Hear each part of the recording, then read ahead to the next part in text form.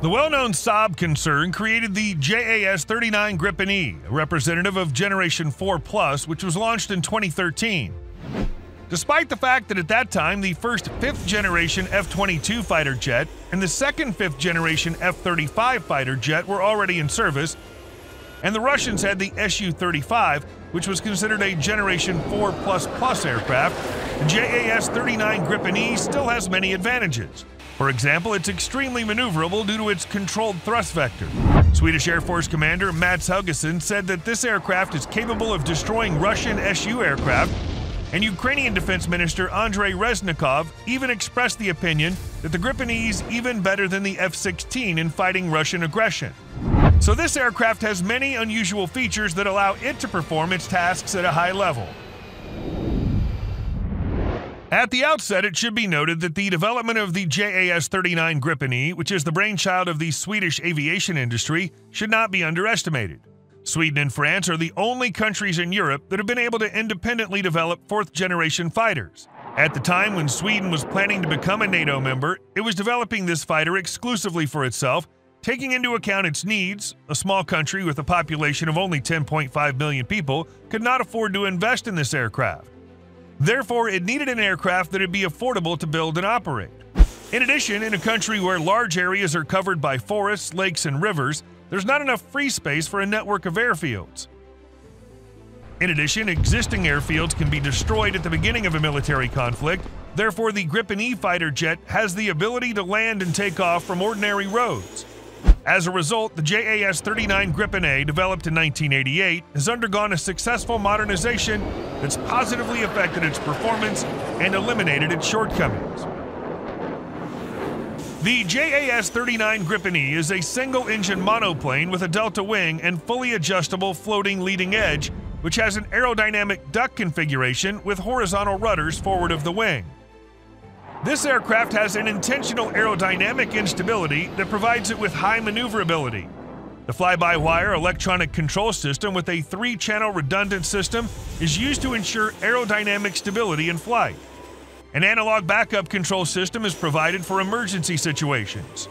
The Gripen E, like its predecessor, can take off and land on very short runways, just 190 meters. This means that it can use not only airfields but also roads. About 30% of the aircraft's weight is made up of composite materials that reduce weight and reduce radar visibility. But this is not a stealth technology. The horizontal wing control surfaces and leading fingers are made of carbon fiber, while the fuselage is made of aluminum alloy, and the wings are made of titanium alloy. The Gripen E has been updated with a new engine, the American F414 FA18 Super Hornets. In afterburner mode, this engine provides a thrust of about 6 tons, and in afterburner mode as much as 10 tons with an engine weight of about 1 ton. These figures are incredible compared to what was available a quarter of a century ago. In terms of the ratio of specific thrust to air consumption, it remains the absolute world record holder and demonstrates impressive efficiency. In terms of cruising speed, the Gripen E is capable of reaching Mach 1.1 at idle thanks to the F414 engine. With the afterburner on, it can fly at Mach 2. The aircraft is also equipped with a refueling system that meets NATO standards. The designers of the Gripen E have simplified the repair and maintenance process. The time between flights required for refueling, reloading weapons, and routine maintenance does not exceed 10 minutes. Moreover, the engine can be replaced in an hour. The Gripen E has extensive network capabilities that were previously only available to fifth generation fighters. The Gripen data transmission systems, Link 16, and the secure National Data Link system, as well as multi frequency communication systems, are installed on board. These systems provide the pilot with full situational awareness and two way communication with other Gripen fighters, various types of aircraft, and ground combat equipment. The Gripen E aircraft uses an active electronically scanned array radar system which consists of several radars and allows tracking of several targets simultaneously not only from the direction of flight, but also from the sides and rear. In addition, the aircraft is equipped with the Skyward G all angle electron optical detection system, which operates in the thermal range and allows targeting in a passive mode using radar to reduce visibility. Only the Russian Su 35 and Su 57 fighters and the American F 35 have such a system, and the F 22 plans to implement it in the future.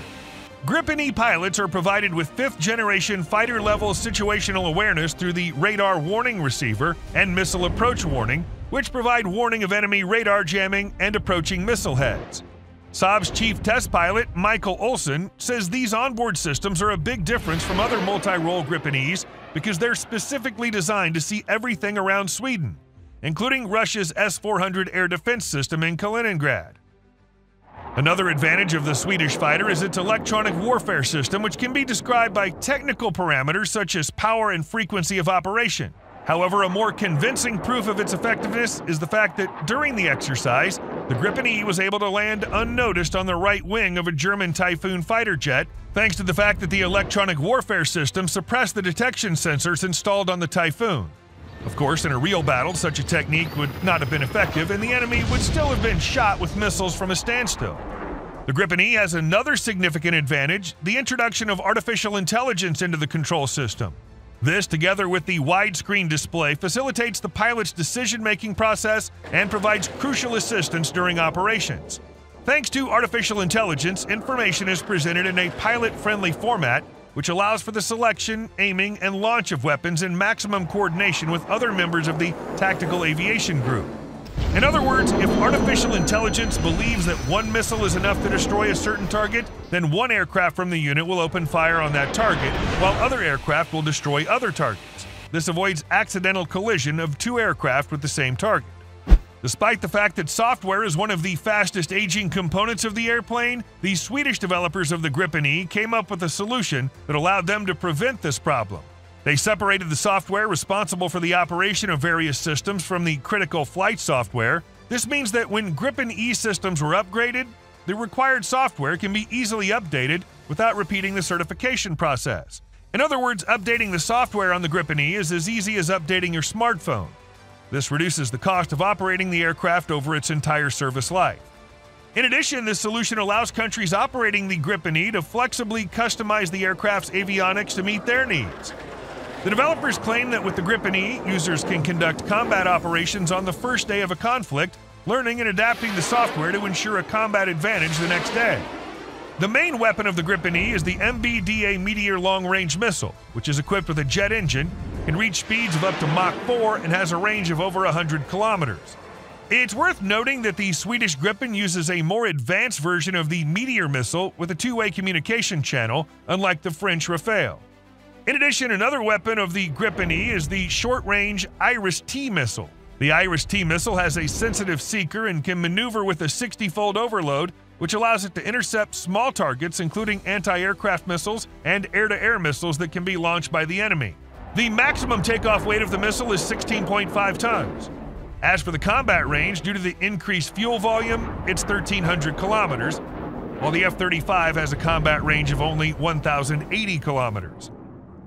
The Gripen E spends less time on the ground and more time in the air due to its low maintenance requirements per flight hour, as for the price, there's no data on the cost of the Gripen E. However, for example, its predecessor, the Gripen JAS 39A, has maintenance costs of $4,700 per flight hour, which is half that of its closest competitor, the single engine F 16. In other words, we have an inexpensive, compact, and easy to maintain aircraft that has advanced electronics and even artificial intelligence.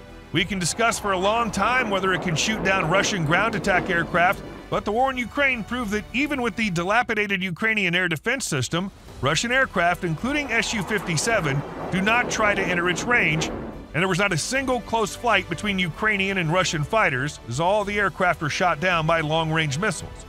So, why are stealth and ultra maneuverability needed in this conflict, which is limited to the region? More important are the ease and cost of operation, as well as the ability to use runways of any quality. For example, in order for the Ukrainians to use F 16s, they'll have to modify their airfields. We may see Swedish Gripen aircraft in the skies of Ukraine, as recent events indicate an increase in the need for modern weapons in the area. Do you think the Gripen E and Russian Su 35 will be able to fight in the air? Write your opinion in the comments below. Also, don't forget to give us a thumbs up if you enjoyed the video. If you don't want to miss new stories about modern weapons on our channel, subscribe to it. See you next time.